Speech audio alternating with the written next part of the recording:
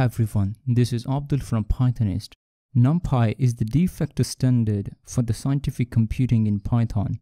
It extends Python with a flexible multi-dimensional array that allows fast and concise mathematical calculations.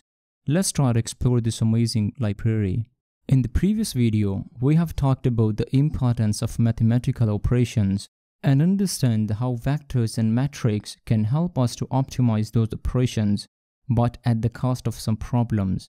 As we discussed about the memory fragmentation and the performance degradation, let's try to understand how NumPy can help us to solve these problems and boost the performance of our code.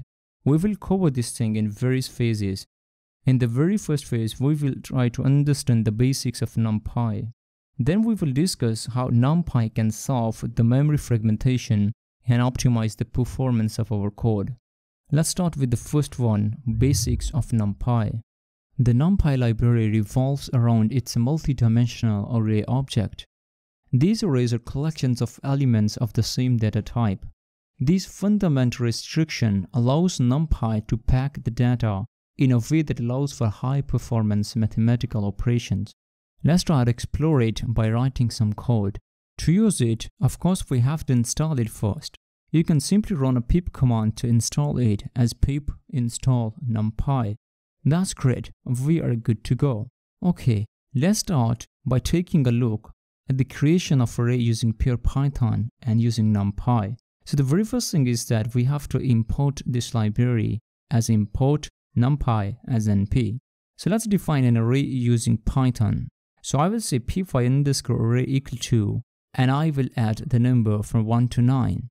Just keep in mind that it's a list. To create an array in NumPy, we have to call its array method. So I will say np underscore array equal to np.array and inside that I will pass a list with the numbers from 1 to 9. Let's print out both of these arrays using Python's formatted string. And you can see the result here. Just notice the difference between both of these print results. The Python's array just print out all of these elements separately, separated by comma. But in the case of NumPy array, it has been just displayed the entire array as a one chunk. So just keep in mind this thing, this difference for the understanding of later discussion. Okay, that's great. Let's understand some of the very important attributes of array object before making a discussion about available functions. And these are the arange and shape and reshape, the numpy arange function allows the creation of a simple list of numbers by prompting the start, stop, and step within the function. While shape is another attribute for a numpy array, we just simply returns the shape of that particular matrix. And the reshape is a method that will change the dimensions of the matrix into a new dimension that's specified. By doing so, we will pass a tuple of any dimension with the same number of elements as the original matrix. So let's define an array using these attributes.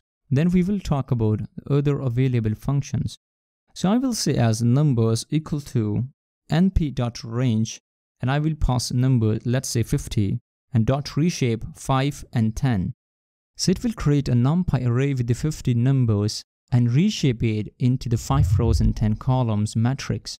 So let's explore some of the important functions and or attributes we can perform on this array.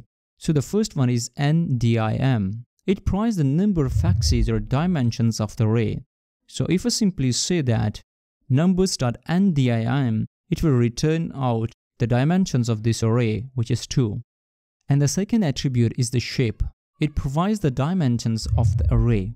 It is similar to the previous function but this function really provides the shape. So when we just call this function, it will return 5 and 10. So this is that the 5 rows and 10 columns.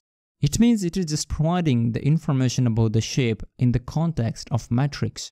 The next one is the size attribute. The size function provides the total number of elements of the array.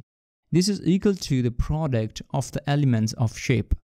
So if we call this attribute on this numbers array, it will just simply print 50 because we have 50 numbers in our numbers array. The next one is the dtype.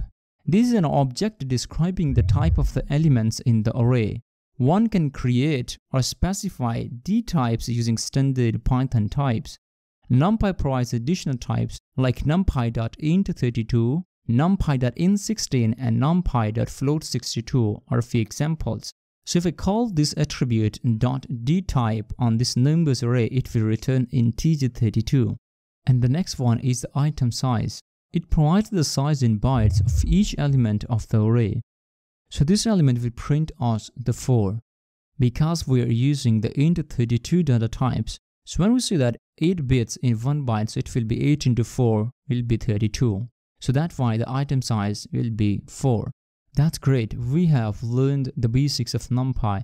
So these are the very basic concepts about the NumPy, how we can define an array and different attributes and functions of the array object.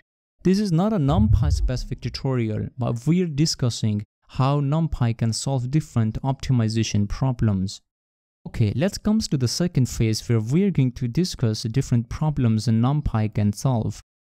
So in the previous video, we have talked about the memory fragmentation, which we found using perf tool. In order to deal with this problem, we must find a package that can efficiently vectorize operations. Luckily, NumPy has all of the features we need. It stores data in contiguous chunks of memory and supports vectorize operations on its data. As a result, any arithmetic we do on NumPy arrays happens in chunks without us having to explicitly loop over each element. Not only does this make it much easier to do matrix arithmetic this way, but it is also faster. We can understand it much better by making its comparison with the pure Python implementations. Let's write some functions to calculate the norm, which is actually the magnitude of a vector using different approaches. So let's first calculate it using pure Python's list. So I will define a function as norm underscore square underscore list and pass a vector. Just keep in mind this vector is simply a list.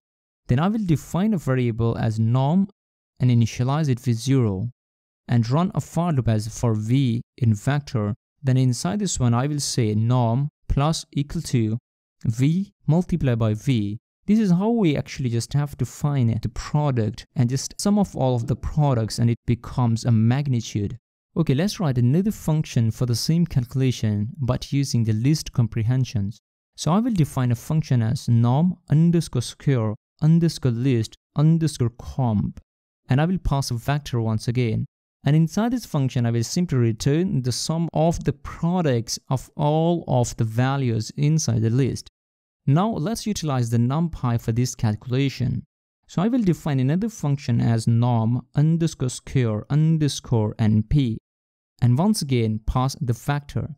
Then inside that we simply return np dot sum and inside that we can simply return vector multiplied by vector. Okay, so if we run all of these functions for a list of 1 million numbers and just calculate the time by using the timeit module, the very first function, which is norm underscore square underscore list, just run the 1000 loops for 1.16 milliseconds per loop.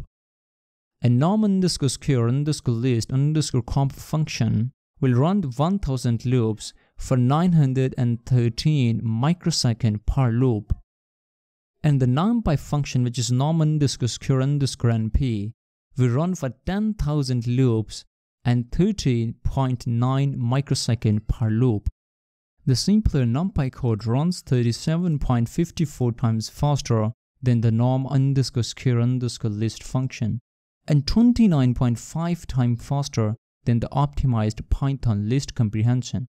The difference in speed between the pure Python looping method and the list comprehension shows the benefits of doing more calculation behind the scene rather than explicitly doing it in your Python code. By performing calculations using Python's already built-in machinery, we get the speed of the native C code that Python is built on. This is also pretty the same reasoning behind why we have such a drastic speedup in the NumPy code. Instead of using the very generalized list structure, we have a very finely tuned and specially built object for dealing with arrays of numbers.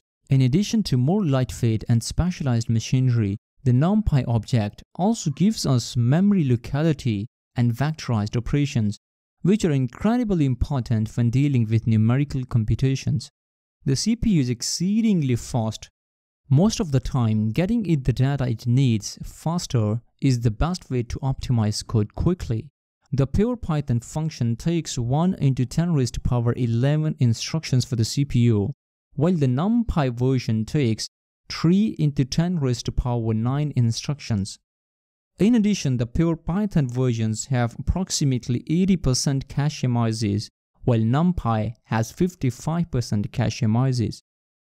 In our norm underscore square underscore NumPy code, when doing vector multiplied by vector, there is an implied loop that NumPy will take care of. The implied loop is the same loop we have explicitly written out in other examples. Loop over all items in vector, multiplying each item by itself. However, since we tell NumPy to do this instead of explicitly writing it out in our Python code, it can take advantage of all the optimizations it wants. In the background, NumPy has very optimized C code that has been specifically made to take advantage of any vectorization the CPU has enabled. In addition, NumPy arrays are represented sequentially in memory as low-level numerical types, which gives them the same space requirements as array object from the array module. As an extra bonus, we can reformulate the problem as a dot product. So let's first write the code, then I will explain it.